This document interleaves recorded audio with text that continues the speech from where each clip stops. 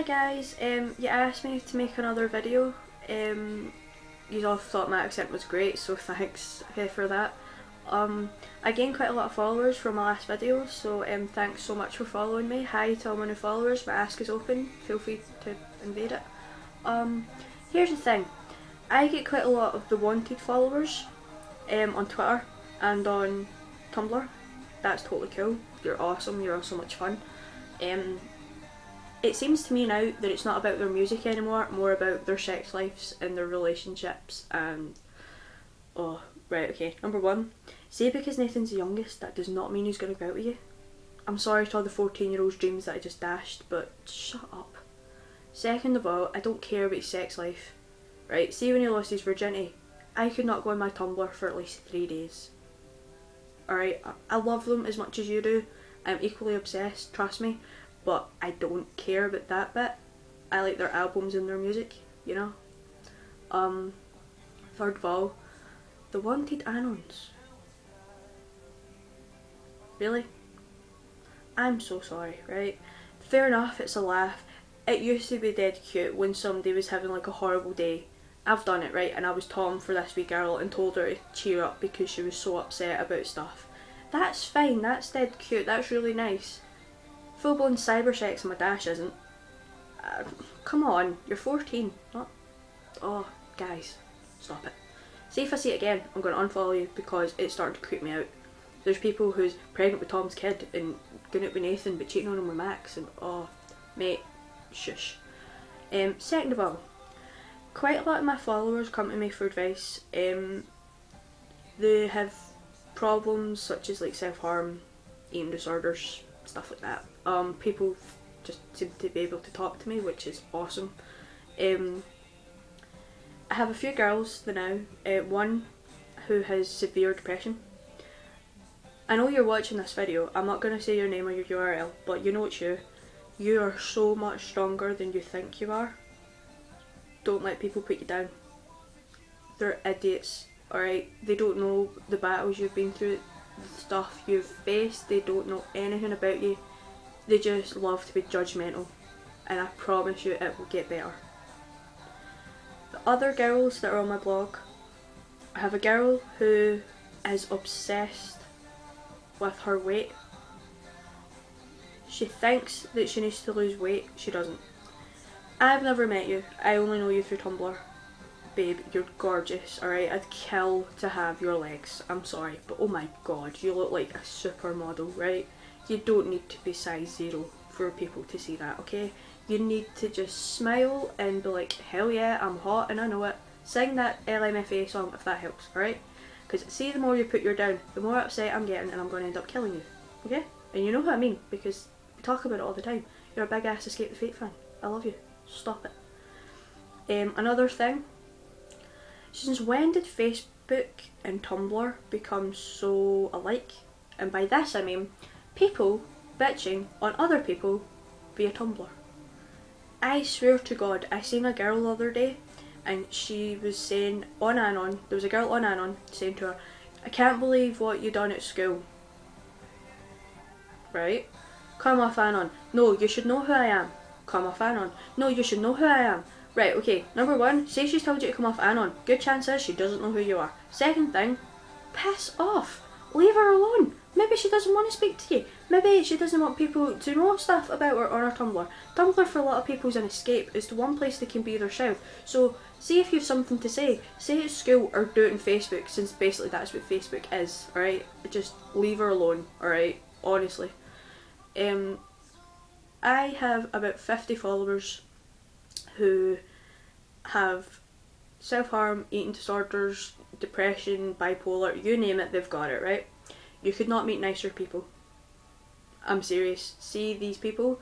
These people make other people feel better when they are dying inside. And I'm not talking about, oh, I've had a bad day. I'm talking they're on the verge of suicide. Now, I speak to a girl, again, not going to say her URL, who she's so nice. I've only spoke to her a few times, but she's lovely, right? She has anons telling her, when you're going to hurry up and go die? Dude, the girl has severe depression and you're telling her to go kill herself. Real clever. Real clever.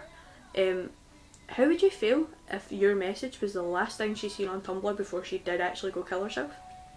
How would you feel if when you tell that anorexic girl that she's fat, that she goes and throws up, do you feel anything or do you just enjoy the fact that you're evil?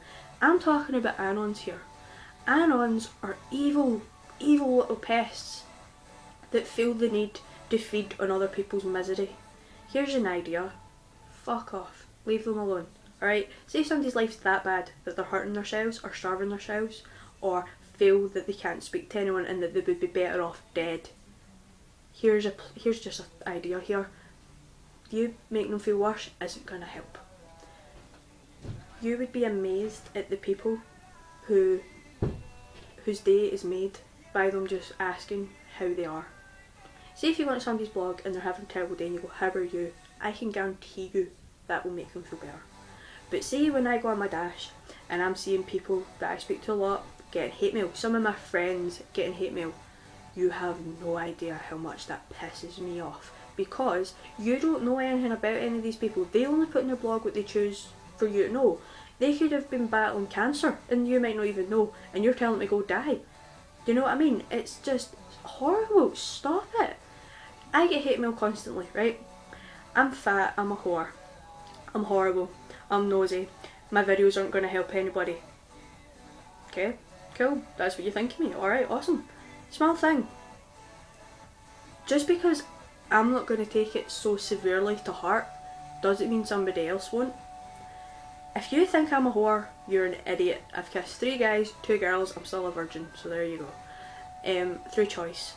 Um, just because some people think that cutting means they're emo, how does that make you emo? To me, that's somebody that needs help. Someone whose life is so bad that they feel the need to take it out on themselves. Here's an idea.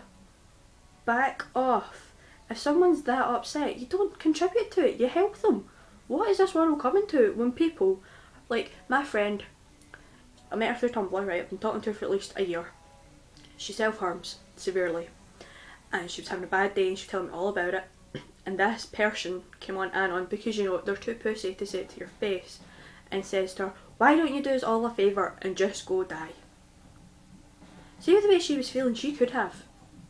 She could have literally gone and killed herself. Stop it. You have no idea how much your words affect people. If you've got nothing nice to say, don't say it. People on my blog have started accusing me of sending hate mail to myself.